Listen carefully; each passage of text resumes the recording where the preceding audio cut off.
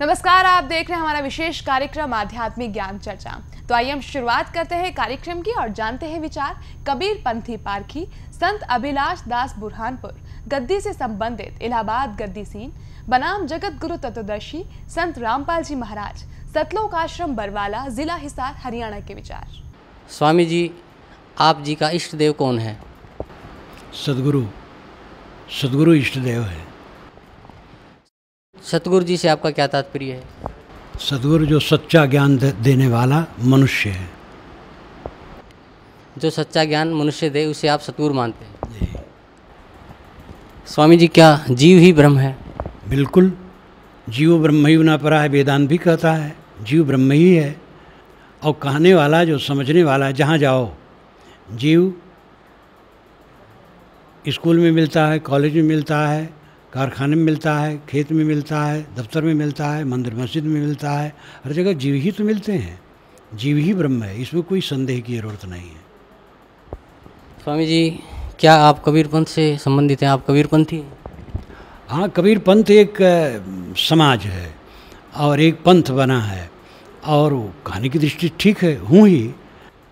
स्वामी जी संसार का कोई उत्पत्ति करता है या स्वयं नर्मादा से बनता है, तथा समय आने पर अपने आप बिगड़ जाता है। क्या न तो बिगड़ जाता है न न न सर्वथा बना है।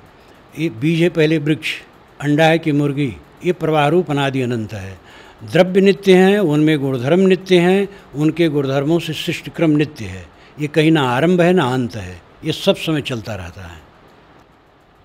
ये संसार की उत्पत्ति कैसे हुई? संसार की उत्पत्ति ही नहीं हुई, संसार सदा से है। आप यही समझ लीजिए, विज्ञान से देख लीजिए कि द्रव्य जितना है, उतना ही रहता है। वो न घटता है, न बढ़ता है। और हर द्रव्य में क्रिया है, गति है, गुणधर्म है। और जिन गुणधर्मों और क्रियाओं से सृष्टि होती है, वो गुणधर्म मूल द्रव्य में नित्य है। इसलिए सदा से जड़ चेतन है, सदा सदा से उनके गुणधर्म हैं और सदा से उनका प्रवाह है। स्वामी जी पारक सिद्धांत को फलीभूत करने के लिए आपके पंथ के प्रवर्तक ने कौन से ग्रंथ को आधार माना? है वो तो बीजक उनकी वाणी है। बीजक ही उनकी वाणी है मुख्य। उन्होंने उनकी वही रचना है। ये कौन से ग्रंथ से प्रमाणित है? बीजक। कबीर बीजक। कबीर बीजक। स्वामी जी जीव की मुक्ति भक्ति से संभव है? किसी मंत्र के जाप से संभव है या ध्यान लगाने से संभव है? मंत्र जाप से मुक्ति नहीं होती है। स्वामी जी अभी आप हम आपसे चर्चा कर रहे थे कि आप बता रहे थे कि भाई ढाई घंटे ध्यान लगाते हैं या तीन घंटे ध्यान लगाते हैं तो ध्यान का मोक्ष मार्ग में या भक्ति मार्ग में ध्यान का क्या महत्व है? ध्यान का अर्थ है कुछ न सोचना। पहला ध्यान तो यह है कि अ, किसी महापुरुष का चित्र मन में लेकर के उसे मन रोकना। आँखें बंद किए तो आँखों में जो गर्मी इत्यादि की दिखाई देती उसी मन ठहराना या सांस पर मन ठहराना। तो ये सब क्रिया योग हैं। आलंबन है सहारा है पहले। अंतिम ध्यान है कुछ न सोचना। तो स्वामी जी आपका मानना है कि मुक्ति के लिए किसी विशेष मंत्र जाप की आवश्यकता नहीं है? नहीं ये कोई ज़रूरत नहीं है। और जो जपते हैं वो बुरा नहीं है। वो जपना चाहिए उनको। जब जपेंगे समझेंगे वो जब अब छूट जाएगा। तब तो अंतर्मुख हो जाना है। वहाँ जब तक कुछ नहीं। क्रिया शून्य। स्वामी जी संसार की उत्पत्ति पर कुछ प्रकाश डालें मैं तो पहले कहा संसार उत्पत्ति हुई नहीं है। संसार सदा से है और सदा रहेगा। ये तो विवेक से देखिए कि जड़ और चेतन दो सत्ताएँ नित्य हैं और इनमें अपने गुणधर्म हैं। उनके गुणधर्मों से सदा से जगत है सदा रहेगा। स्वामी जी कबीर साहब को आप किस रूप में मानते हैं? कबीर साहब को सदगुरु मानते हैं मानव मानते हैं। मानव रूप में मानते हैं और सदगुरु महान संत चमत्कारी नहीं मानते हैं। चमत्कार पारक सिद्धांत में कहीं नहीं माना जाता है। सब मनुष्य हैं। दुनिया के बड़े बड़े पुरुष, जिनको लोग अवतार बना डाले और दूत बना डाले, ईश्वर का और कुछ, सब मनुष्य हैं केवल। वो तो अलौकिकता मढ़ी जाती है अपना प्रचार बढ़ाने के लिए। और असत्य आता है, इसलिए वो सत्य दब जाता है। और वास्तविकता यह है कि जितने महापुरुष हैं, मनुष्य हैं, जितनी पुस्तकें हैं, मानव की रचनाएँ हैं, जितने संप्रदाय हैं, मानव की चलाएँ हैं। स्वामी जी कुछ संत या कुछ महंत कबीर जी को परमात्मा मानते हैं क्या वो सही है? हाँ बहुत लोग हैं और ज़्यादा लोग हैं। वो मानते हैं कि कबीर साहब पर- परमात्मा हैं अनंत ब्रह्मांड नायक हैं आ, उनको धन्यवाद है लेकिन हम इनको मनुष्य मानते हैं और यही वास्तविकता है। स्वामी जी आपके पूज्य गुरुदेव जी का नाम जान सकते हैं? हाँ बिल्कुल सदगुरु श्री राम सूरत साहेब। स्वामी जी कि आप जी का या आपके पंथ का पारक पंथ का इष्ट देव कौन है? कबीर साहब हैं। कबीर साहब ही हमारे इष्ट हैं। कबीर साहब को तो आप मनुष्य रूप में हाँ तो तो मनुष्य तो हमारे इष्ट हैं। बिल्कुल मनुष्य में इष्ट हैं और, और पंथ की दृष्टि से और बोध की दृष्टि से वही हमारे सर्वोपरि इष्ट हैं। स्वामी जी कई जगह दीवारों पे लिखा मिलता है कि कुल का मालिक एक है। इसका क्या मतलब हाँ वो ऐसी धारणा वो भी है सारी सृष्टि में एक नियम है, विश्व नियम। और विश्व नियम से सब चलता है। वो नियम ही खास है, जो संसार की गतिविधि में है। उसको वेदों में ऋत कहा गया है। संत लाओ जी आज से ढाई हज़ार वर्ष पूर्व हुए हैं चीन में। उनकी ताओ टीचिंग नाम की पुस्तक, उस पर मेरा भाष्य भी है। तो उसमें उन्होंने ताओ कहा है। ताओ, विश्व नियम।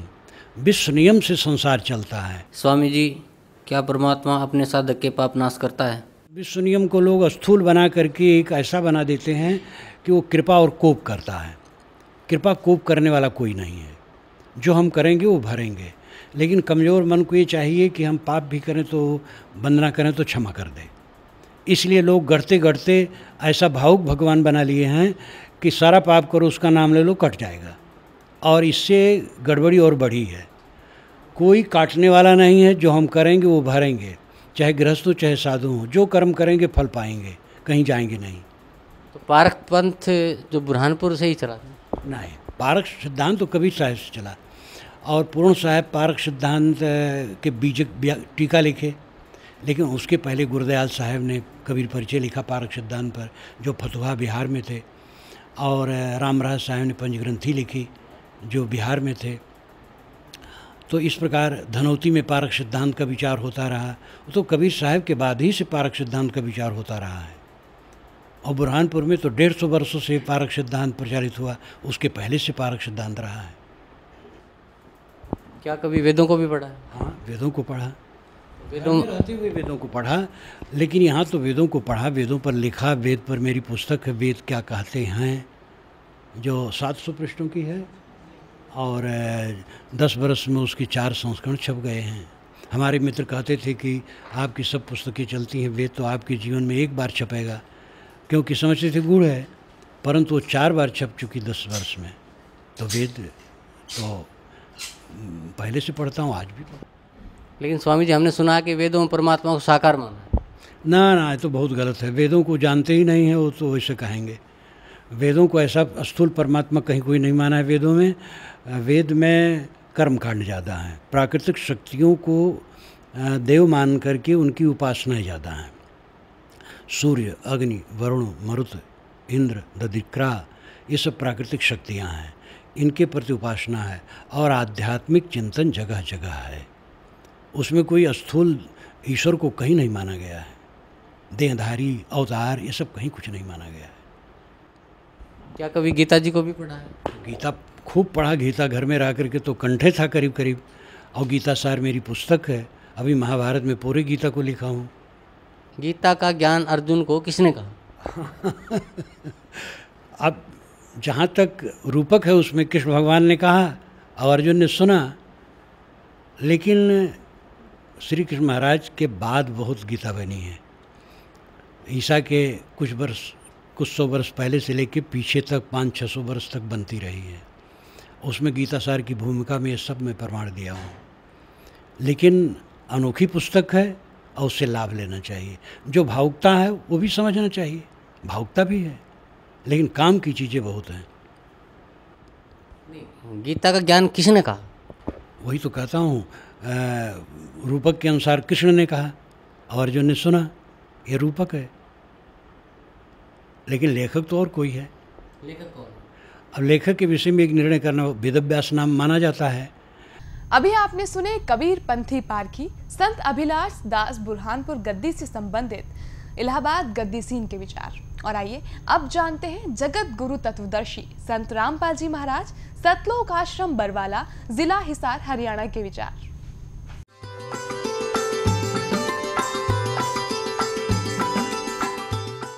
सतगुरुदेव की जय।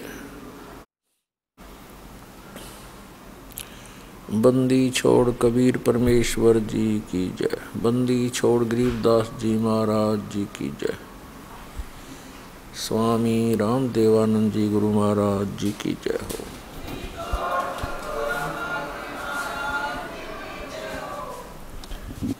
गरीब नमो नमो सतपुरुष को नमस्कार, गुरु की नहीं।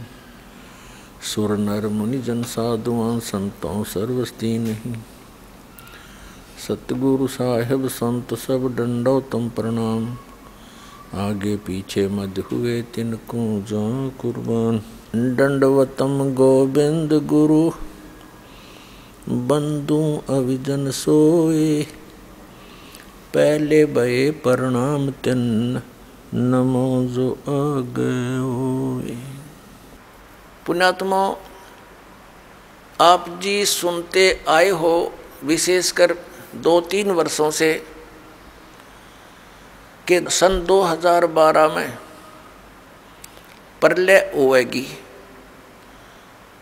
अब वो प्रलय का अर्थ कैसे लगाकर पेश करते हैं कि पृथ्वी पर सर्वनाश हो जाएगा?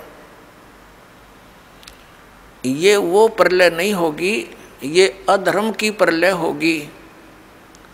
अधर्म का सर्वनाश होगा, अज्ञान की प्रलय होगी। और ज्ञान का विकास होगा। ये वो प्रलय अब सन 2012 में होगी। परम पिता, परमात्मा, पूर्ण ब्रह्म सर्वसृष्टि रचनार।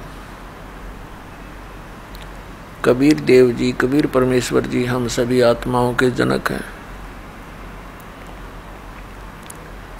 ये सर्व सृष्टि रचनहार हैं और हम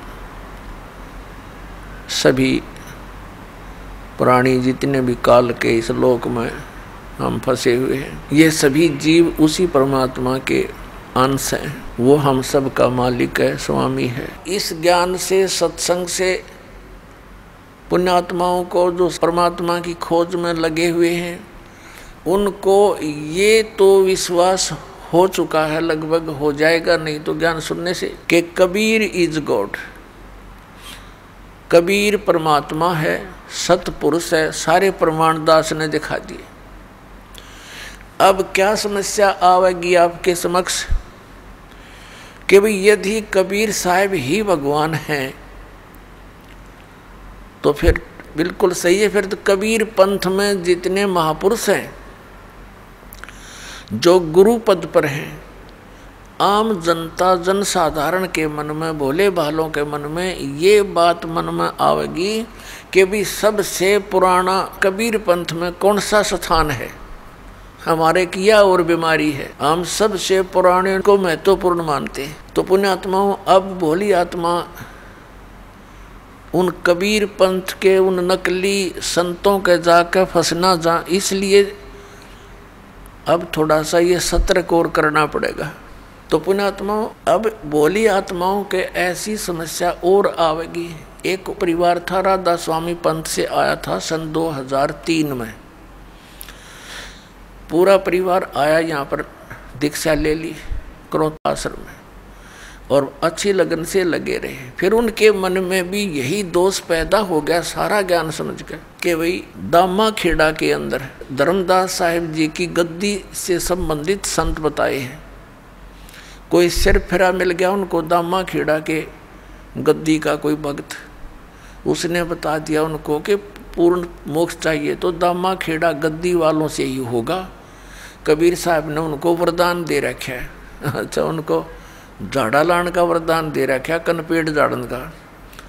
कबीर साहब ने तेनों बता रखा जो सच्चा नाम देगा, उससे मोक्ष होगा, सतनाम तय वंश से नहीं, नाद से होगा। यानी आज तक किसी ने देख लो, नाद वाले जितने यानी वचन के से, उनसे ही हमारा पंथ उजागर हुआ है। और जिसके पास सही नाम है, उसी से मोक्ष होगा, किसी पीढ़ी से उनका वह बात पक्की जचगी अकरामपाल तक पाँच चार वर्ष से लगा नाम देने, और वो तो बहुत पुराना बताया। यहाँ से छोड़ कर वहाँ चले गए धक्के खान। उन्होंने सतनाम प्राप्त हो चुका था। सार नाम तो मालिक ने कहा था भी थोड़ा सा और रोशनी हो लेने दे, फिर जल्दी दिया करेंगे, अभी तो थोड़ा खींच कर लेना है, समय बढ़ाना है। तो उनने जाकर पूछा, जी, हमने नाम दे दो, दामा खेड़ा पहुँच गए वो बोले, भाई ठीक है, बैठो, नाम देते हैं। उनने सुना दिया पूरा शब्द, अजर नाम, अमर नाम पाताल्य सब सिंधु नाम, यही हंस का काम वह देखे उनके मुँह की तरफ़। वो कहने लगे, सतनाम कौन सा होता बोला ये है, जो कुछ है। जो कुछ है, बस यही है। अब वो वहाँ से तो खिसियानी बिल्ली होकर आ गए उनने फिर स्कीम बनाई, किसी से बताया कि वहाँ कबीर चौरा है काशी में। वहाँ परम संत पाओगे, वहाँ धक्के खाए। आखिर में वो भक्ति से हीन हो गए, यहाँ से भी गई। तो कहने का भाव ये पुण्यात्मा इस काल ने तो कई सिकंजे कस रखे बहुत बंधन बाँध रखे पर अब ये सारे समाप्त करने पड़ेंगे, दास सारे समाप्त करेगा और ऐसा कर देगा इन सबको कि इनके पास खख नहीं, सबके जोड़े खाली करके दिखा दूँगा। अब देखो।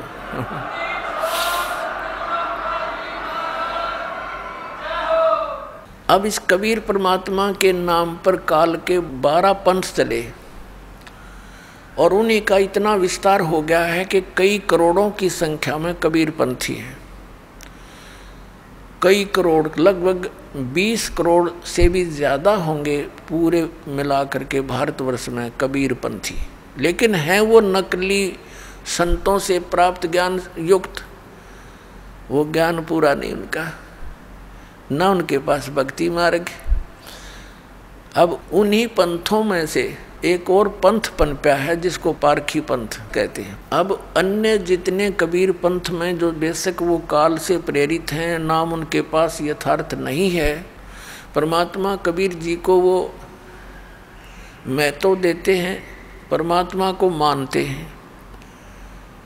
और सतलोक, सचखंड उन स्थानों को भी मानते हैं। लेकिन उनका नाम गलत है। उनकी पूजा की विधि गलत है। अपने आत्माओं जैसे किसी को ये ज्ञान हो जा कि इस व्यक्ति को ये रोग है और उस रोग का नाश करने की औषधि है नहीं तो उस ज्ञान का लाभ क्या? उसका कोई यूज़ नहीं। ये भी ज्ञान हो गया कि इसको ये रोग है और उसकी औषधि नहीं। तो ये हमें सबको ज्ञान हो गया, कबीर साहिब के ज्ञान से कि हम सतलोक से आए थे, यहाँ फंस गए। और यहाँ का काल भगवान है। इसको एक लाख मानव शरीरधारी प्राणी नत खान का श्राप लगा हुआ है। तो हम सभी दुखी इसलिए हैं कि हम सतलोक नहीं गए। सतलोक जाने से हमें सुख होगा, लेकिन उनकी जो सिद्धांत विधान है, ये सभी कबीर पंथी जो हैं, कबीर परमेश्वर जी को केवल सदगुरु मानते हैं। परमात्मा नहीं मानते। और परमात्मा को सतलोक में निराकार मानते हैं। ये जो कबीर पंथी हैं, ये अस्तित्व तो भगवान का मानते हैं कि भगवान है, परमात्मा है, सतपुरुष है, जीव भिन्न है। लेकिन इनके पास मोक्ष मार्ग नहीं, यथार्थ ज्ञान नहीं, सतपुरुष का। जैसे हमने आम के महिमा का ज्ञान हो गया, आम के, कि कितना स्वादिष्ट फल है, और उसका बीज है नहीं, आम के स्थान पर बबूल का बीज दिया, और आशा लगाए बैठे आम की तो ये सारी ये बात बिगड़गी ये तो दशा है कबीर साहिब के उन बारह पंथों और उनसे निकली हुई अनेकों ब्रांचों की। और एक जो पारखी पंथ है, ये तो कतिये नास्तिक लोग हैं। इनका क्या विधान है कि एक तो ये मानते हैं कि जीव ही परमात्मा है। बताओ, जीव ही भगवान है। और फिर कहते हैं, ध्यान लगाओ और ध्यान की अंतिम उपलब्धि ये क्या बताते हैं कि विचार शून्य हो जाओ।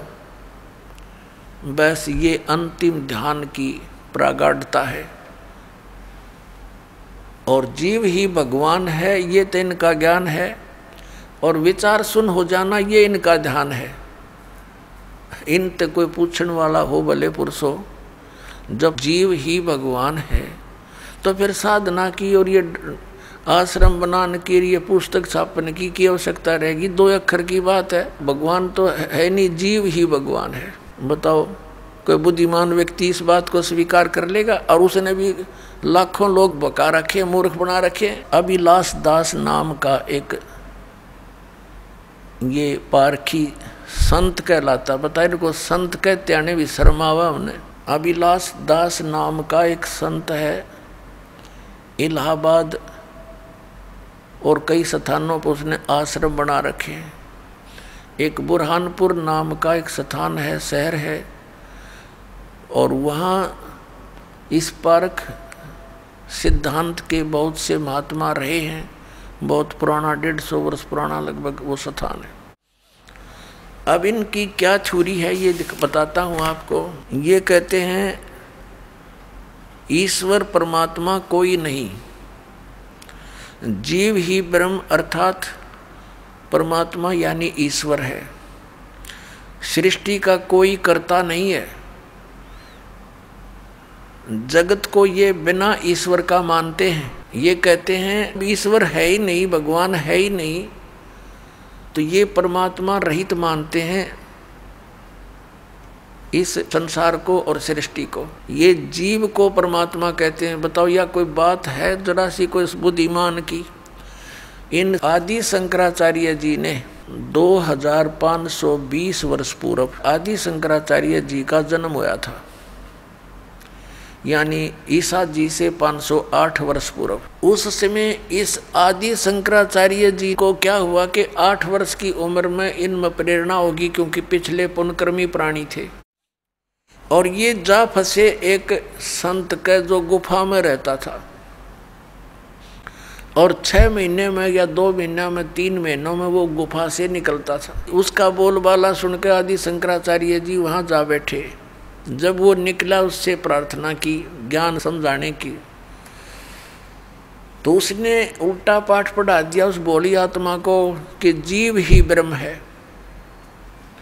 अब इस ही विधान को आगे प्रचार करने लगे आदि शंकराचार्य जी। जहाँ से हिंदू धर्म का ये उत्थान माना जाता है, प्राकट्य माना जाता है। तो उस समय ये सब जगह जाकर अपने गुरु जी के विधान को बताने लगे। तो उस समय भी इतने बुद्धिमान व्यक्ति थे, उन्होंने कहा कि, हे महात्मा जी, जब जीव ही ब्रह्म है तो फिर हमने करना के रह गया हम आप भगवान है। फिर क्यों दर दर आप अपना प्रचार करते फिर रहे हो? आप भी भगवान और हम भी भगवान, फिर हमारा करना के रह गए फिर। अब ये बात उस आदि शंकराचार्य के भी समझ में आ गई भाई बात तो यह भी ठीक है। ये बात तो जची नहीं, क्योंकि फिर गुरुजी उनके जीवित थे। अब उस विधान को साथ लेकर चलना गुरु परंपरा थी उसकी। लेकिन उन्होंने अपनी सूझबूझ से फिर कहा कि तुम श्री कृष्ण की, श्री विष्णु जी की और श्री शंकर भगवान की पूजा करा करो। या दया परमात्मा की थी, यदि वो बात स्वीकार हो जाती हमारे पूर्वजों द्वारा तो आज कोई राम नाम लेनिया नहीं पाओ, सारे नास्तिक हो जाते। अब यही बीज ईब बो रहा है, ये अभिलाष दास नाम का एक कबीर पंथी कवाव है। कबीर पंथी भाव है और कबीर साहब के विपरीत सारा ज्ञान बताओ तो ये काल का पक्का दूत है। स्वामी जी क्या आप कबीर पंथ से संबंधित हैं? आप कबीर पंथी हाँ? कबीर पंथ एक समाज है और एक पंथ बना है और कहानी की दृष्टि ठीक है हूँ ही। आ, स्वामी जी कि आप जी का या आपके पंथ का पारक पंथ का इष्ट देव कौन है? कबीर साहब हैं कबीर साहब ही हमारे इष्ट हैं। कबीर साहब को तो आप मनुष्य रूप में हाँ तो तो मनुष्य तो हमारे इष्ट हैं। बिल्कुल मनुष्य में इष्ट हैं और, और पंथ की दृष्टि से और बोध की दृष्टि से वही हमारे सर्वोपरि इष्ट हैं। स्वामी जी क्या जीव ही ब्रह्म है? बिल्कुल जीव ब्रह्म ही बना पड़ा है वेदांत भी कहता है जीव ब्रह्म ही है। और कहने वाला जो समझने वाला है जहाँ जाओ जीव स्कूल में मिलता है कॉलेज में मिलता है कारखाने में मिलता है खेत में मिलता है दफ्तर में मिलता है मंदिर मस्जिद में मिलता है हर जगह जीव ही तो मिलते हैं। जीव ही ब्रह्म है इसमें कोई संदेह की ज़रूरत नहीं है। संसार की उत्पत्ति कैसे हुई? संसार की उत्पत्ति ही नहीं हुई संसार सदा से है। अपने आत्मा ये क्या बताते हैं कि ये जगत जो है अन ईश्वर है यानी बिना ईश्वर का है। जीव भगवान हो गया तो सृष्टि का कोई करता नहीं तो इसका मतलब ये बिना भगवान के हुआ। अब हमारी श्रीमद् भगवत गीता क्या बताती है? कि जिस व्यक्ति की ये स्टेटमेंट है कि जगत का कोई करता नहीं, ये अपने आप बनता और बिगड़ता रहता है। यानी प्रलय होती है, फिर सृष्टि होती है। अब उसके बारे में श्रीमद् भगवत गीता में दिखाएँगे। पहले इनकी सारी थ्योरी बताता है दास। और ये पारखी जो संत हैं ये नहीं मानते कि ऊपर कोई लोक है, सतलोक है या कोई स्वर्ग लोक है, ये नहीं मानते। कहता, ये सब काल्पनिक बातें हैं, काल्पनिक बनावटी। और इनका ये भी मानना है, जैसे कोई प्रश्न करता है, क्या परमात्मा भक्तों पर दया करता है, दुष्टों को हानि करता है, वो कहता है कि जो भगवान है ही नहीं और परमात्मा किसी पर ना रहम करता है ना कोई दुख देता है, वो कुछ नहीं करता। परमात्मा है ही नहीं। अब इसके विषय में आपको दिखाते हैं, ये चातुर प्राणी की बातें होती हैं, जो चातुर प्राणी है। चातुर प्राणी चोर हैं और मूड बुगद हैं, ठोठ, ये संतों के निकाम की इनके देगल जोट अब ऐसे व्यक्तियों के पास भी जनसमूह बैठा है। कमाल कर दिया है भगवान। कितनी श्रद्धालु, कितने ड्यूटी हैं। आँख मीच कर बैठे हैं। गुरु जी जो बता देते हैं, वो सही है, बिल्कुल सही है। अब इतने चतुर्थ ये संत पद पर प्राप्त प्राणी होते ही हैं कि एक आम जनसाधारण तो कोरा कागज़ होता है उस पर कुछ भी लिख दे, उसमें तो वही अंक अंकित हो जाते हैं। तो इस प्रकार लाखों लोगों को डबोए बैठा है। अब देखना, ये है श्रीमद् भगवत गीता और जय दयाल गोविंद का इसका अनुवादक है। और ये कौन सी है? पद छेद अन्वय, साधारण भाषा टीका से। ये इसका अनुवाद करता है इसका यो नाम लिख रखे और देखना, ये है अध्याय नंबर सोलह। और श्रीमद् भगवत गीता, और इसका श्लोक नंबर सात से शुरू करेंगे। अब गीता ज्ञान दाता कहता है कि मैंने ऊपर तो बता दिया देवी प्रकृति वालों की जो जानकारी दे दी। अब दूसरी असुरी प्रकृति वाले हैं, वो दो प्रकार के व्यक्ति हैं। तो असुर स्वभाव वाले मनुष्य, ये सातवा श्लोक में, असुर यानी राक्षस, स्वभाव वाले मनुष्य, प्रवृत्ति और निवृत्ति, इन दोनों को भी नहीं जानते। इसलिए उनमें न तो बाहर भीतर की शुद्धि और न श्रेष्ठ आचरण है और न सत्य भाषण ही है। वो सच्ची बात नहीं कहते, वो बात को घुमाते हैं, झूठ बोलते हैं। अब आठवें श्लोक में देखिएगा, अध्याय नंबर सोलह के आठवां। वे असुर प्रकृति वाले मनुष्य कहा करते हैं कि जगत आश्रय रहित है, सर्वथा असत्य और बिना ईश्वर के अपने आप केवल स्त्री पुरुष या नर मादा के संयोग से उत्पन्न है।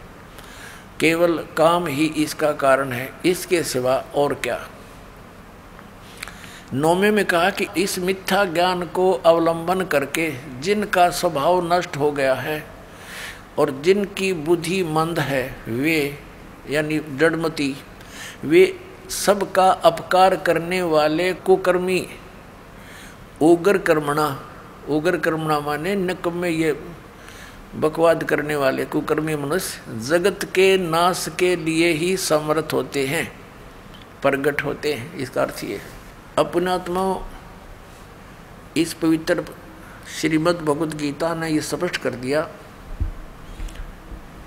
कि वो असुर स्वभाव के व्यक्ति होते हैं, जो ये कहते हैं कि कोई भगवान नहीं यानी सृष्टि अन ईश्वर है, ये जगत अन ईश्वर है, इसका कोई भगवान नहीं। अब ये जो कबीर पंथी कहलाता है, वैसे तो इसको कबीर पंथी कहते हुए दास को तो शर्म आती है। लेकिन इनके ज्ञान को सार्वजनिक किए बिना जनता को समझ में नहीं आवे कि ये कितना मिथ्या ज्ञान प्रचार करे।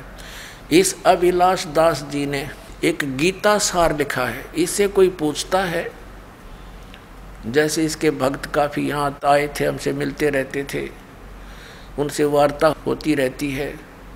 तो वो क्या बताते हैं कि वो अभिलाष दास जी ने सैकड़ों पुस्तक बना रखी है और एक गीता सार भी बना रखा है। वो गीता सार पढ़ा दास ने। ये चातुर प्राणी होते हैं जो इनके इस अज्ञान विधान में उल्टी सुलटे करके जो समर्थन इनको महसूस होता है, उनको तो ये ले लेते हैं अपने प्रमाण में और बाकी श्लोक छोड़ देते हैं। श्रीमद् भगवद गीता में 700 श्लोक हैं और इस भले पुरुष ने अपने अनुसार जो इसको चाहिए थे, जो इसके अनुकूल थे, वो वो सेलेक्ट कर लिए, बाकी छोड़ दिए। फिर ये ऐसे व्यक्ति अज्ञानी पुरुष क्या कहा करते हैं कि ये गीता में मिलावट है? और सही सार निकाल कर हमने दे दिया गीता सार। ये सही गीता है। दिखाऊँ आपको इनके, देखिएगा। ये है पुस्तक गीता सार। अभिलाष दास इसके अनुवाद पूरा डिटेल दिखाएँगे यहाँ से। ये प्रकाशक हैं कबीर पार्क संस्थान, संत कबीर मार्ग, प्रीतम नगर, इलाहाबाद से। ये वहाँ से छपी है। पहली बार सन 1975 में, वो तुरा जो भैया बता, कब से ये विष घोल रहा है समाज में? 1975 में पहली बार छपी थी। और मुद्रक है Indian press private limited Panna Lal road, Allahabad. अब दिखाता हूँ आपको।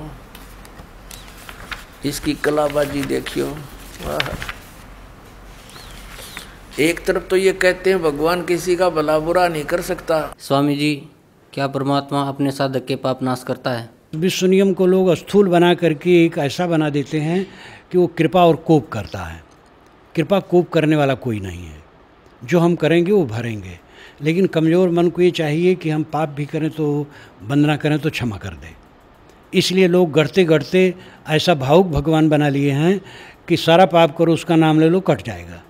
और इससे गड़बड़ी और बढ़ी है। कोई काटने वाला नहीं है, जो हम करेंगे वो भरेंगे, चाहे गृहस्थ हो, चाहे साधु हो, जो कर्म करेंगे, फल पाएँगे, कहीं जाएँगे नहीं। और फिर गीता सार के आठ पृष्ठ पे ये क्या कहता है, अभिलाष दास? सारा कुछ भूमिका लिख कर ये क्या कहता है, गुरुदेव सबका मंगल करें। और यही शुभांक्षा है मेरी, बता। एक तरफ़ तक कह, है यो कि भगवान कुछ नहीं कर सकता, फिर गुरुदेव तेरा मंगल करेंगे, तेरे गुरु जी मंगल करें सबका भला करें। है इनकी दोगली बातें। कहीं सिर पैर नहीं पाओगा। अभी तो छटाट है इसकी कलाबाज दिखाता हूँ। ये देखिएगा, अध्याय नंबर सोलह का इसने अनुवाद किया है अपनी इस गीता सार में। अध्याय सोलह और ये गीता सार इसने एक से लेकर ये छठा श्लोक है। इसने क्या किया है? इसकी देखो कितनी कलाबाजी है। यहाँ से दिखानी पड़ेगी थोड़ी।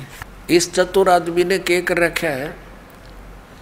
अपने घर का नीला रखा है। इसने कुछ ना, इसने खुद अनुवाद किया। इसने क्या लिखा है? जो ये पुस्तक दास ने अभी आपको दिखाई थी, गीता प्रेस गोरखपुर से प्रकाशित है, इसमें से कहा कि मैंने अनुवाद इसमें तो लिया, इसका अनुवाद अनुवाद ले रखा और फिर अपने अज्ञान विधान को सिद्ध करने की कुचेष्टा की है। ये आपने भी देखा था, ये गीता है। पद छेद, इस गीता का ये नाम है, पद छेद अन्वय और साधारण भाषा टीका सहित। अब ये देखो, ये गीता सार, इस गीता सार की भूमिका में इसने क्या लिखा है? गीता प्रेस की अन्वय पद छेद वाली गुटका गीता अर्थ समझने में सहायक हुई है। यानी इसने इससे अर्थ लिए हैं, सहायक हुई है। प्रत्यक्ष और अप्रत्यक्ष में जिनकी रचनाओं के सहयोग से मेरा ये कार्य पूर्ण हुआ है, उनके प्रति मैं हृदय से कृतज्ञ हूँ। यानी इस पुस्तक से इसने अनुवाद लिए हैं और अपनी अज्ञान सोच को, उस विधान को सिद्ध करने की कुचेष्टा की है। अब हम आते हैं इसके द्वारा अनुवादित सोलहवें अध्याय के और सत्रहवें श्लोक में। ये गीता सार और पृष्ठ 203 पे अब सातवां श्लोक इसने कैसे किया है? असूरी स्वभाव वाले ये नहीं जानते कि क्या करना चाहिए और क्या नहीं करना चाहिए। उनमें न पवित्रता होती है और न उत्तम आचरण होते हैं और न तो उनमें सत्य ही होता। सत्य नहीं सत्य भाषण इसमें सत्य भाषण लिखा है, स्पष्ट। अब आगे देखो। आसुरी स्वभाव वाले यह नहीं जानते कि किस कार्य में प्रवृत्त होने से भलाई है और किस कार्य से निवृत्त होना चाहिए। अथवा कर्म मार्ग क्या है तथा त्याग मार्ग क्या है? वे कर्तव्य अकर्तव्य बुद्धि से हीन होते हैं। ठीक है, यह लिखा नीचे। इसी में, उनमें सत्यता की बहुत कमी होती है। असुर स्वभाव के लोग होते उनमें सत्यता की, यानी सच्चाई नहीं होती, उसकी बहुत कमी होती है। अब देखो 204 पृष्ठ पे गीता सार, वे कहते हैं कि ये जगत मिथ्या तथा आधार रहित है। इसका कोई ईश्वर नहीं है। ये अपने आप पैदा हुआ है। यह केवल भोगों के भोगने के लिए है, इसके अतिरिक्त और क्या है? अब देखो, इसने फिर आगे, ये तो अनुवाद नो का नो ले लिया गीता प्रेस वालों का। अब इसने ये बकवाद शुरू किया अपनी तरफ़ से। इस श्लोक में वास्तव में जो लोग किसी प्रकार चेतन सत्ता नहीं मानते, जो लोग संसार के केवल भोग की वस्तु मानते, समझते हैं, दुराचार में लगे रहते हैं, उन्हें आसुरी संपदा युक्त कहा है। जगत कर्ता ईश्वर न मानना, आसुरी संपदा नहीं। यदि वह अध्यात्मवादी या सदाचार प्रयाण है। अब देखो, ये क्या कहना चाहता है? गीता जी के इस श्लोक को इसलिए इसने लेना अनिवार्य समझा कि कहीं तेरे चेले पीछे तो कोई पढ़ ले, और इसकी पहले लिपापोती कर दूँ। ये क्या कहना चाहता है कि असुरी स्वभाव के लोग वो नहीं होते जो सृष्टि को भगवान रहित मानते हैं। वो नहीं होते। वो होते हैं जो दुराचारी होते जब इसमें स्पष्ट लिख दिया गीता जी में कि जो इस परमात्मा रहित मानते हैं सृष्टि को, कि इसका कोई कर्ता नहीं है, अनिश्वर उसी को कहते हैं। तो ये कह है, ये तो बात ठीक है, गीता में लिखा है कि असुर स्वभाव वाले इस सृष्टि को ईश्वर रहित मानते हैं, परमात्मा इसका कर्ता नहीं मानते। ये ये कहना चाहता है कि गीता जी के इस सोलहवें अध्याय के सात से लेकर नौ तक इसमें उन लोगों को असुर यानी राक्षस स्वभाव को नहीं कहा जो भगवान इसका कर्ता नहीं मानते। जगत का, उनके लिए कहा है जो दुराचारी है। और इसमें सपट लिखा देखिए पढ़ के आपको दिखाते हैं, क्योंकि पुणात्मा इनकी अंग्रेज़ी उदास समझ सके। इन बोले, बाले आत्माओं को तुमने गुमराह कर रखा कई सैकड़ों वर्षों से। ये देखना है ये गीता प्रेस गोरखपुर से प्रकाशित। इसमें स्पष्ट कराया है, सोलहवें अध्याय के सातवें श्लोक में, अध्याय नंबर सोलह का। आठवें श्लोक में कहा है, वे आसुरी प्रकृति वाले मनुष्य, यानी राक्षस स्वभाव के व्यक्ति कहा करते हैं जगत आश्रय रहित है, सर्वथा असत्य और बिना ईश्वर के है। अपने आप स्त्री पुरुष के संयोग से उत्पन्न होता है। अपने आत्माओं, उन राक्षस स्वभाव वाले व्यक्तियों में से एक गुण ये भी है कि जो जगत को बिना ईश्वर का मानते हैं। और ये लिपापोती क्या करने की चेष्टा कर रहा है, देखिए। और फिर क्या उदाहरण लिया इसने? देखना गीता सार अभिलाष दास का गीता सार। ये देखिए। अध्याय नंबर सोलह के इसने थोड़े से श्लोक लिए हैं, उनमें से ये गीता सार प्रश्न नंबर 204 पा गए ये क्या कहना चाहता है कि जगत कर्ता ईश्वर न मानना, जगत का कर्ता ईश्वर न मानना असुरी संपदा नहीं। ये अपनी लिपापोती कर रहा है, अपने को टालना चाहता है इसमें से। और फिर क्या बताता है, यदि वह अध्यात्मवादी या सदाचार प्रयाण है, यानी अध्यात्मवादी है ना जो भगवान, अध्यात्म किसे कहते हैं? परमात्मा के बारे में जानकारी। ये ये कहना चाहता अभिलाष दास के, जो परमात्मा का कर्ता नहीं मानते और जो अध्यात्म मार्ग में लगे हुए हैं, वो असुर स्वभाव के नहीं, कहे गीता में। हाँ बता, इसका अध्यात्म खाक रह गया जब नो नौका भगवान है ही नहीं, टट्टू अध्यात्म रह गया फिर। क्या बचा अध्यात्म फिर इसके पास? और फिर आगे क्या कहता, इसी के पॉइंट पर देखना। आगे इसी 204 पृष्ठ पे है, वास्तव में तो जगत अनादि है, इसका कर्ता खड़ा करना यह मन की कल्पना है। कर दिया स्पष्ट अभिलाष दास जी ने, कि इसका कोई कर्ता खड़ा कर ले, किसी ने कोई बनाने वाला है तो यह केवल एक बनावटी बात है, कल्पना है। ईश्वर लोगों के मन का काल्पनिक दीपक है। यानी बनावटी बातें हैं सारी। उसकी आवश्यकता तब समाप्त हो जाती है जब स्वरूप ज्ञान रूपी सूर्य हृदय में उदित हो जाता है। ये सब ज्ञान के बतावे हैं कि ये मान ले, मैं शरीर नहीं हूँ। आड चाम का पुतला शरीर है। इसमें ये रक्त घूम रहा है और जीव तो इससे अलग है। बस ये इनका अपना स्वरूप मान ले, वो मुक्त हो गया। और फिर समाधि लगाना बताते हैं कि ऐसे हटता चला जाए तो शरीर नहीं है तो रक्त चाम का पुतला नहीं है तो मन भी नहीं है। तो कति स्वर्ण हो जा, यानी माइंडलेस मैन हो जाने के बाद ये मुक्त मानते हैं, मोक्ष मानते हैं। फिर आगे क्या बताया है? इसने और लिपा पोती की है। देखिए, कि जैसे गीता जी में कहा है कि वो असुर स्वभाव के हैं, जो ईश्वर नहीं मानते, कर्ता नहीं मानते ईश्वर को। कोई मनुष्य दुराचारी हो और ईश्वर मानता हो तो क्या वह देव हो जाएगा? और यदि कोई ईश्वर तो नहीं मानता, यानी ईश्वर तो न मानता हो, परंतु उसे स्वरूप ज्ञान, आत्म ज्ञान हो, तथा वह सदाचारी हो तो क्या वह असुर माना जाएगा? देख, ये अपने चेलों को दृढ़ रखने के लिए कि तेरा दामन थामे रहें, ये छोड़ ना जाए। ये सिद्ध करना चाहते हैं कि यदि गीता जी के सोलहवें अध्याय के सात, आठ, नौ में वर्णित इस विवरण के आधार से केवल उस व्यक्ति को जो ईश्वर नहीं मानता हो, उसको नहीं माना जा सकता असुर स्वभाव का। क्योंकि दुराचारी व्यक्ति और भगवान मानता हो, ये कह रहा है अभिलाष दास जी। तो कहते, वो क्या अच्छा आदमी हो सकता है? देव हो सकता है?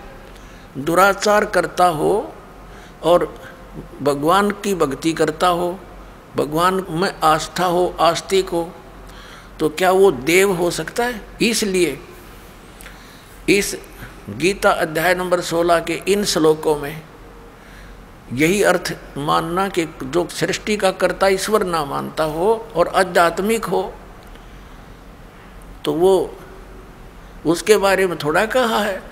तो तेरा अध्यात्म ज्ञान खाक है। जब जीव ही भगवान है तो भी भगवान, कुत्ता भी भगवान, फिर क्यों दुनिया को मूर्ख बनाए बैठा है? कबीर साहब को तो इस से नाश करना चाहते हैं, काल के दूत। और ये दीमक है इस परमात्मा कबीर जी के कबीर पंथ में। इसका नाश करने के लिए इसका जन्म हुआ। ये स्पष्ट किया गीता जी में कैसे व्यक्ति संसार का नाश करने के लिए ही उत्पन्न होते हैं। और कबीर साहब के उस बीजक ज्ञान को ये क्या समझेगा जब इसने ये फाइनल कर दिया, भगवान नहीं। तो उसके विषय में सूक्ष्म वेद में कहा है कि बीजक की बात कहेंगे, बीजक ना ही हाथ ये पृथ्वी डोबण उतर का क मीठी बात। अब देखो फिर देखिएगा, ये सोलवा अध्याय गीता सार, इस अभिलाष दास के ही विचार, ये देखिएगा। ये क्या कहता है कि कोई मनुष्य दुराचारी हो और ईश्वर को मानता हो, उसमें आस्था हो तो क्या वह देव हो जाएगा? और यदि कोई ईश्वर तो न मानता हो, परंतु उसे स्वरूप ज्ञान आत्म ज्ञान हो तथा वह सदाचारी हो तो क्या वह असुर माना जाएगा? अब देखो, अब यहाँ समझ किया है कि वास्तव में तो जगत अनादि है। ये अभिलाष दास के विचार। इसका कर्ता खड़ा करना मन की कल्पना है। या इसका कोई भगवान नहीं है, इसके रचने वाला। ईश्वर लोगों के मन की कल्पना है। और यहाँ देखो जगत कर्ता ईश्वर न मानना असुरी संपदा नहीं है। यदि वह अध्यात्मवादी या सदाचार परायण है, ये अपनी लिपापोती कर रहा है, अपनी आरती आप पर साझा भी हो। यदि उसमें अध्यात्मवाद है आध्यात्मिक है, सदाचारी है। और फिर यहाँ क्या कहता है कि कोई मनुष्य दुराचारी हो और ईश्वर मानता हो तो क्या वह भला व्यक्ति हो सकता है? क्या वो देव हो जाएगा? यदि कोई ईश्वर न मानता हो, यानी अभिलाष दास परंतु उससे स्वरूप का ज्ञान हो तो वो सदाचारी हो तो वह क्या असुर माना जाएगा? अब इसके इस जगत का कर्ता ने मानना असुर संपदा नहीं। यदि वह अध्यात्मवादी सदाचार, फिर कहते हैं, वास्तव में तो जगत अनादि है, इसका कर्ता खड़ा करना एक मन की कल्पना है। कर्ता है नहीं, भगवान नहीं है कोई।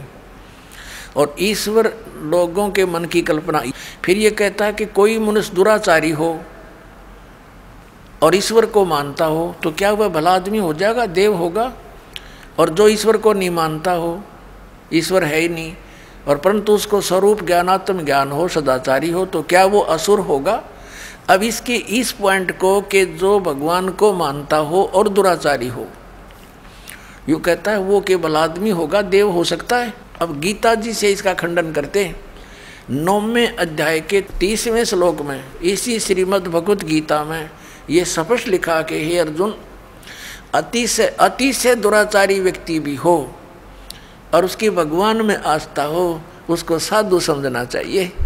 बता इस नकली का है कोई ज्ञान? ये देखो श्रीमद् भगवत गीता और ये तो गीता प्रेस गोरखपुर वालों की और उसने इसकी नकल ला कर अपनी बकवाद गढ़ रखी सारी। ये देखिएगा। अध्याय नंबर नौ और इसका श्लोक नंबर तीस में कहा है, यदि कोई अति से दुराचारी भी अनन्य भाव से मेरा भक्त होकर मुझको भजता है, वह साधु ही मानने योग्य है। तो ये बेईमान व्यक्ति हैं। इन्होंने जनता के उद्धार से नहीं, काल के जाल में फंसाण का ठेका ले रखे न अब सूक्ष्म वेद में कहा है कि कुष्टि हो वह संत बंदगी कीजियो हो वैश्या के विश्वास चरण चित दीजियो। परमात्मा ने कहा है, यदि किसी भक्त का कोड भी लाग रहा हो कितना ही उसको दुख हो कर्म का, और वो भक्ति पर लग गया है तो उससे हेट ना करना, उससे नफरत ना करना, उसको भी प्यार देना। वो भक्ति कर रहा है, वो भक्त हो गया, और वैसा कह विश्वास, भगवान की श्रद्धा हो, भगवान को मानती है वैसा। कहते हैं, चरण चित दीजिए, उसकी किस्मत सराइए उस बेटी की ठीक है, कर्म के आधार से कोई कसाई बना हुआ है, कोई डाकू बन गया, कोई शराबी, कोई कुछ तो जब इस मार्ग पर लग गए हैं विश्वास से तो बुराई भी छूटेंगी। और ये क्या कह रहा है कि कोई अति से दुराचारी व्यक्ति हो, वो क्या देव हो सकता है? इसलिए अभिलाष दास को नहीं कहा, इस गीता में राक्षस असुर। अब गीता कहती है कि अति से दुराचारी भी व्यक्ति क्यों ना हो, उसको भी साधु मानना चाहिए। और जो भगवान को नहीं मानता तो एक नंबर का राक्षस है। उसको तो कहने की ज़रूरत कोई नहीं हो तो पशु में और पत्थर में उसमें क्या अंतर है? जब इतना जड़मती व्यक्ति है कि भगवान नहीं है, और फिर क्या है? मेरा सिर है वो। नाश कर दिया, ऐसे नकलियों ने बट्ठा बैठा दिया अध्यात्म मार्ग का अपने हिसाब से इन्होंने कथाएँ बना डाली। अपने आत्मा इसकी सारी अटकलबाजी दिखा दूँगा घनी देर ना लगे, क्योंकि आज मानव समझदार है। अभी तक इस मानव के पास कोई ऐसा विकल्प नहीं था जिसने कोई तुलना कर सके। तो दास ने ये तुलना करन के आई एस आई मार्ग के बट्टे दे दिए बाट। अभी न मिनटा हम तोलांगे। अरे इनके सब की ये कोथड़ी ये थैलेट खाली करके दिखा देगा। दास ये के भर रहे हैं लिख रहे हैं के ऊपर।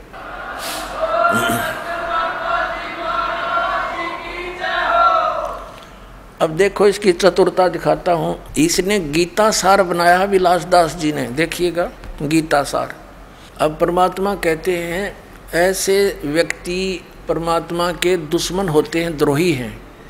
इसने इस गीता सार में कैसी कलाबाजी दिखाई है, देख दिखाता हूँ आपको। ये गीता सार और अध्याय नंबर आठ का, इसने सार निकाल लिया, बाकी श्लोक छोड़ दिए। गीता जी अध्याय आठ के श्लोक एक से चार छोड़ दिए। ये देखो, इसने कहा से पाँच से शुरू कर दिया, आठवें का। अरे वाह। जो व्यक्ति श्री भगवान ने कहा, जब जीव भगवान है तो ये भगवान कितना आ गया फिर।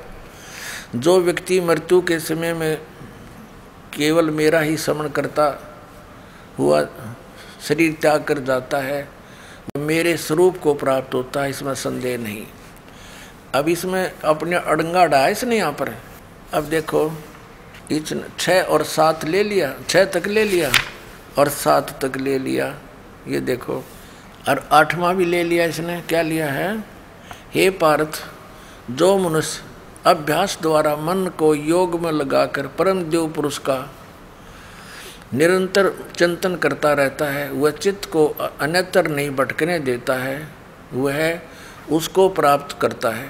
अब बता, इसमें गीता में एक तो गीता ज्ञान दाता खुद कह रहा है, आठवें अध्याय के पाँच और सात में तो अपने विषय में, और आठवें के आठ में और नौ में दस में किसी और के विषय में कह रहा है। आगे देखना। इसने फिर नौ से तेरह फिर छोड़ दिए, आठवें के। आगे इसने देखा, तू पकड़ा जाएगा, बस आठवें में गोल मोड़ कर दिया। इसका यथार्थ अनुवाद नहीं है ये। इसने फिर नौ से तेरह फिर छोड़ दिए। जहाँ यू पकड़ा जाना था, वो त्याग दिए आगे ले लिए। अच्छा। अब पंद्रह में दिखाऊँ आपको ऐसी कलाबाजी। ये नौवे में देखो, अध्याय नंबर नौ, गीता सार का।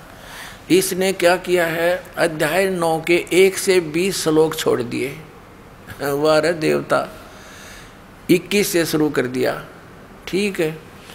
और फिर 22 से 27 छोड़ दिए। एक लेक है 22 से 27 छोड़ दिए। ये देखो। अब इसने सीधा कित छलांग मारी 28 पे। बस आगे समाप्त कर दिया इसने, इति कर दिया। फिर एक अट्ठाईस लेके उनतीस से चौंतीस छोड़ दिए। कुल श्लोक चौंतीस हैं, प्रमाण में लिए दो और छोड़ दिए बत्तीस। हरियोगीता का सार बना दिया। अरे वाह, देवता। श्रीमद् भगवद गीता अध्याय नंबर पंद्रह के अंदर, और बिल्कुल निर्णायक ज्ञान है, इस अज्ञानी व्यक्ति ने, इस धोखेबाज ने, बेईमान ने, परमात्मा के दुश्मन ने, ये देखिएगा क्या कर रखा है। अध्याय नंबर दस, इसने कुल बयालीस श्लोक हैं, दो प्रमाण में ले लिए, चालीस छोड़ दिए। अध्याय दस का, चार और पाँच ले लिए यही ती कर दिया। अरे वाह देवता। अब ग्यारहवा ले लिया। ग्यारहवा में कुल पचपन श्लोक हैं, एक ले लिया, चम्मन छोड़ दिए। वाह रे देवता। ये एक पचपन पचपन ले लिया, बाकी सारे छोड़ दिए। ये बस, ये इति कर दिया। ऐसे ही सब मैं कर रखा इसने बाकी कुछ एक बता देता हूँ आपको, ज़्यादा नहीं। आप पंद्रहवें में देखो, इसकी कलाबाजी। गीता सार है इसका ये, और ये इसमें गीता अध्याय पंद्रह के श्लोक एक से चार तथा सात यो छोड़ दिया, पाँच और छः ले लिए और बारह से बीस छोड़ दिए। बारह से आगे टोटल छोड़ दिए। ये देखो, पंद्रहवें अध्याय का इसने पाँचवें से शुरू कर दिया। आए है अरे तेरा गजब हो। जो माल था, जो असली ज्ञान था, वो तो फेंक दिया, काट के एक लोहे। हैं, और इसने ये ये रख लिया, इसमें तो एक से लेकर चार में निर्णायक ज्ञान है। ऊर्धव मूलम अध शाखम, ऊपर को जड़ो, नीचे को तीनों गुण रूपी शाखा वाला उल्टा लटका संसार रूपी वृक्ष है। और जो व्यक्ति इसको सभी पार्ट्स में जानता है, सभी भागों को जानता है सवेद वेद, वो तत्वदर्शी संत है। और ये कबीर पंथी को आवे। कबीर साहब की वाणी से परिचित नहीं, परमेश्वर ने अपनी वाणी में, अमर वाणी में लिखा है, अक्सर पुरुष एक पेड़ है, निरंजन वा की डार, और तीनों देवा शाखा है, ये पात रूप संसार। ये पंद्रह में कहा इसने एक से चार छोड़ दिया, और सोलह सत्रह छोड़ दिया, जिसमें कति निर्णायक ज्ञान। ये गीता अध्याय पंद्रह, गीता सार है ये। अब इसमें, इसने केवल पांचवा ले लिया। एक से चार छोड़ दिए और छठा ले लिया। ये देखो छठा ले लिया। पृष्ठ एक सौ अठासी पे, आठवां भी ले लिया और फिर नौवा ले लिया, सातवां छोड़ दिया, दसवां ले लिया, ग्यारहवा भी ले लिया, ग्यारहवा। यहाँ ख़त्म कर दिया। बस, ठीक है। वाह देवता। और चौथे जाए के एक से सोलह छोड़ दिए। अरे तेरा गजे भैया जहाँ चौथे अध्याय का सारा निर्णय ज्ञान दे रखा है कि तू यदि हठ योग करेगा, तेरा निर्वाह क्यों करोगा? यू हठ योग बतावे विलास दास जी, ये हठ योग बतावे। ये भगवान, परमात्मा कहते हैं, ये तो परमात्मा के दोषी हैं, अपराधी हैं। और कहते हैं, पापी पर बाद ना बैठो, मुख देखे, पाप लगे जाका। नौ दस मास गर्भ त्रास दी धिक्कार जन्म उसकी माँ का। अब इस अभिलाष दास जी ने तो ऐसा काम कर दिया, चतुरता दिखा के। एक समय एक राजा ने महल बनवाना था। अपने मंत्री की ड्यूटी ला दी, भाई बढ़िया सामान लगवाना अपनी देख रेख में। अब मंत्री जी ने बढ़िया कारीगर खोजा उसने नीम रख दी, शुरू कर दिया मकान बनाना। फिर कहा कि, मंत्री जी, अब छत देने के लिए वो लानी पड़ेंगी कड़ी और सतीर। तो मंत्री जी बोला, भाई चल, ले आ, अपना बढ़िया माल छाँट के। वो ले आया कड़ी और सतीर ले आया एक वुडन बीम। वुडन बीम होता था सतीर, काठ का बहुत मज़बूत और चंदन का सारा, क्योंकि राजा का महल बने। अब वो एकांत स्थान पर अलग रखवा दिया सारा सामान दूसरे मकान में। और जहाँ महल बनाना था, वहाँ उसकी कंस्ट्रक्शन शुरू कर दी। उस मिस्त्री ने, राज ने। उधर से क्या हुआ कि मंत्री जी ने सोचा कि राजा का काम है, किसी और अच्छे कारीगर ने दिखा लेता हूँ और इस ऊपर के जो छत के ऊपर दारमदार होता है। और सतीर एक वेरी इम्पोर्टेंट बता है इसका। कि सतीर के ऊपर ही सारा कुछ दारमदार होता है, सारा लोड सतीर पर ही आता है। ये उस मिस्त्री ने बता दिया था कि जी बढ़िया सतीर लेना पड़ेगा, क्यों सारा लोड इसी पर आता है। तो मंत्री जी ने सोचा भी राजा का मामला है, कहीं सतीर कमज़ोर और कोई खराब ना आ गया हो, किसी और कारीगर ने दिखा लेता हूँ। वो और अन्य राज बुला लिया। उस राज को, यानी मिस्त्री को लक्कड़ मिस्त्री को दिखा कि भाई देखना, ये सतीर ठीक है ना? अब ये बेईमान होता है का नालायक सा। उसने सोचा, अपनी प्रभुता बना, नंबर तेरे बन जाएँगे, फिर तुझे मिलेगा काम राजा का। वो कहने लगा, मंत्री जी, ये तो कति बहुत खराब है, इसको मैं करता हूँ ठीक। कहा भाई, कर दे ठीक। जो लेगा पैसे मैं दे दूँगा। वो लिया रंदा ठाके अल्लाह गया उसने घिसाने। दो दो इंच तार दिया, दोनों तरफ़ से चमका दिया कति। अब देखो ही है ना गुणिये में। मंत्री ने भी वो चमकता दिखा क्योंकि अच्छा रंधा लगा दिया। मंत्री जी ने सोचा, भाई देख, किसी बात बिगड़ जाती। अगर नो का नो रख देते, छत पे तो राजा डांट मारा मेरे पे। उसने सोची, एक मिस्त्री ने और दिखा लो कि दे फिर भी कसर रहेगी हो। वो एक और बुला लिया। उसे कहा कि देखना राज मिस्त्री जी, सतीर ओके है ना? ने बोला, जी, इसमें तो बहुत त्रुटि है। अक, भाई, करिए ठीक तू। अका ले दो दो इंच उसने तार दिया दोनों तरफ़ से। लगा रंदा लगाने। अब शंका होगी मंत्री जी को कि भैया तो बात बिगड़ जाती। देखो, दूसरे ने भी उसमें तो त्रुटि काट दी। फिर उसने तीसरा बुला लिया। उसने उसके निरीक्षण चार पाँचा पे करवा दिया और सबने दो दो इंच तार दिया चारों तरफ़ से। वो कड़ी बन गया, कति उड़न बैठन रह गया वो। अब मंत्री ने सोचा, ले भाई तो चार पाँचों ने निरीक्षण कर लिया ईब तयू ओके हो गया होगा। अब जब उस मिस्त्री ने चिनाई जो कर रहा था कंस्ट्रक्शन जब छत लेवल पर पहुँच गई दीवारें, जब उन बेलदारों से कहा कि भाई जाओ, सतीर लिया उठा के। वो भेजे दस देने, दस बारह, पंद्रह अगला उसे तीर उठाकर तो इतना भारा था, दो फुट बाई दो फुट कार कम से कम पंद्रह, सोलह फुट, बीस फुट लंबा। तो पंद्रह, बीस वो गए उठाने के लिए बेलदार वहाँ जाकर देखा उन्हें मंत्री जी से पूछा, जी, हमने वो सतीर चाहिए, कारीगर मंगावा है। मंत्री बोला, ले जाओ यूरिया अब उन दो जना अंदर लिया कंधे पे बाकी आवा खाली। अब वो कारीगर के पास जाके वो कहने लगे, ले भाई कारीगर, सतीर ले। वो देख रहे निकम्यो मैंने तो सतीर मंगाया था, तुम तो कड़ी ले आए। अब साथ साथ मंत्री जी आगे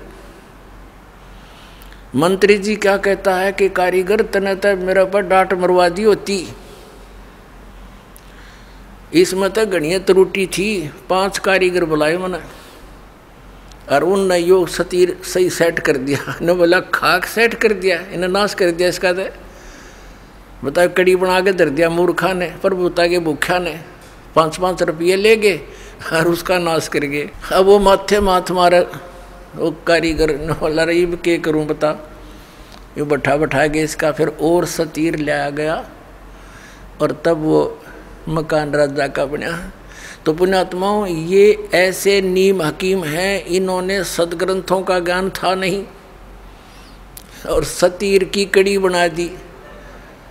हैं, सात सौ श्लोकों की गीता को अरे इतने काट कर का तीन सौ तिरासी बढ़िया बाकी नकली। वाह भाई वाह। अरे वाह भले मानसो। तुमने तो यो नाश करने का ठेका ले रखा है, सदा तुम मार्ग का। अब ये व्यक्ति पारखी जो संत हैं ये अभिलाष दास जी तो इसके भगत बताते हैं कि इन्होंने बड़ी पुस्तक लिखी हुई है।